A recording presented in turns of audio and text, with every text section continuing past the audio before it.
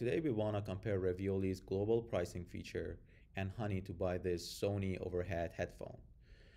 Amazon is selling it for 348 and Honey is saying that it's getting sold on seven different stores right now for a price between 348 and 349, which is literally the same as Amazon.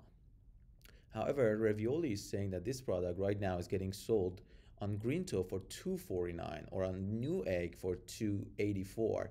So let's see if this is the case. Yes, we see that on Grinto is for 249 is getting sold right now and it's a two-day shipping. We want to check out the Newegg as well.